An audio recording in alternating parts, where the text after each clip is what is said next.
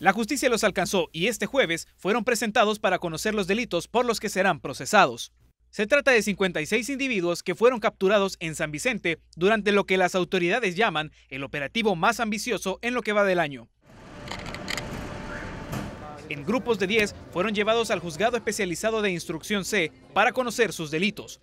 A los que se les atribuyen diversos delitos, entre los cuales están 5 homicidios de, hombres, 5 homicidios de, de mujeres, proposiciones y conspiraciones, un total de 18 proposiciones y conspiraciones, 6 extorsiones, 2 privaciones de libertad y proposiciones y conspiración para el tráfico ilícito de acuerdo con el Ministerio Público, algunos de los detenidos eran parte de una agrupación ilícita.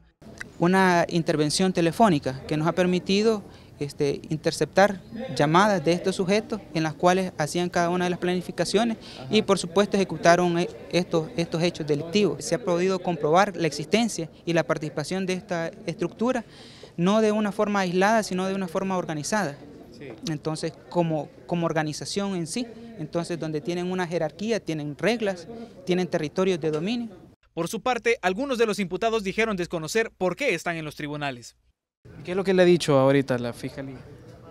No, ahorita nada, solo unas firmas ahí, las huellas. Pero entonces usted no ha cometido ningún delito. No. Ah, no sé, porque yo no he hecho nada. ¿En San Vicente vive usted? Sí, en San Vicente.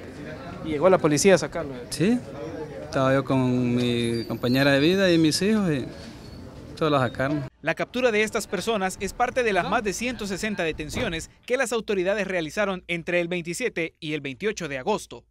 La Fiscalía General de la República ha solicitado instrucción formal con detención por un plazo de seis meses para estos imputados que enfrentarán el viernes a las 2 de la tarde la audiencia de imposición de medidas. Salomón Rugamas, Mega Noticias 19.